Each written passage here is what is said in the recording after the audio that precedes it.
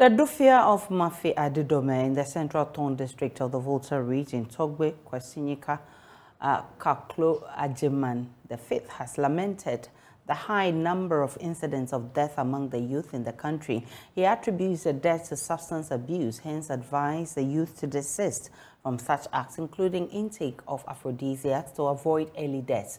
He said this in an interview with Joy News on the sideline of a health screening exercise organized by a philanthropist, um, 100K for Ghana. 100K for Ghana is a benevolent organization made up of people from different countries intending to pool resources together to undertake projects to make life better for the underprivileged in society. The health screening exercise, which is the second edition in the area, forms part of the NGO's annual plan aimed at extending healthcare to people who can't afford it.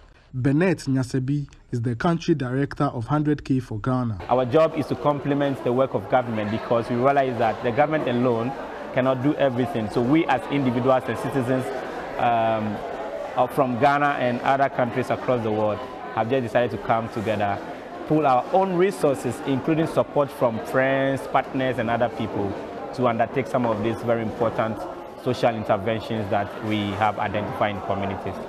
This year, we added the renewal of national health insurance uh, cards to whatever we were doing because we realized that a number of people are in the communities.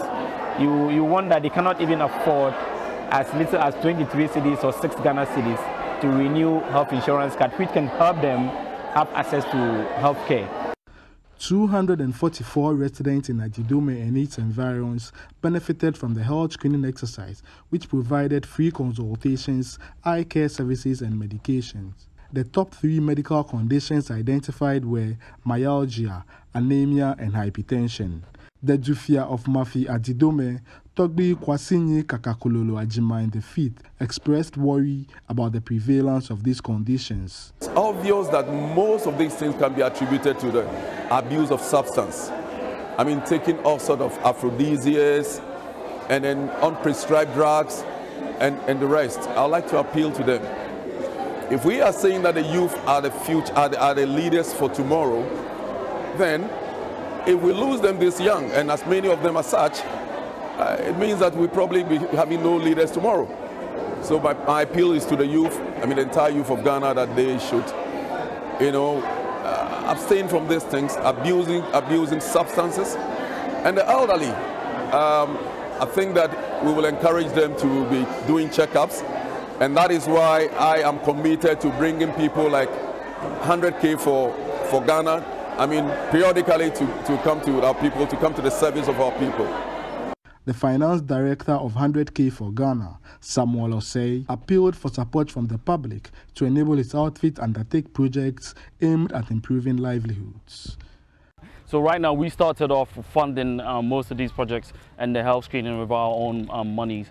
We wanted to show what we can do, individually brilliant, collectively superior, what we can all do. But going forward, we want to um, really push the public to donate as much as possible so that we can be able to put together health screening and, and, and you know, these type of projects so that it really just provides livable wages for the community and also end the year in good health on a, on a yearly basis, such as um, what's happening here today. About 177 residents had their National Health Insurance Scheme cards renewed at no fee.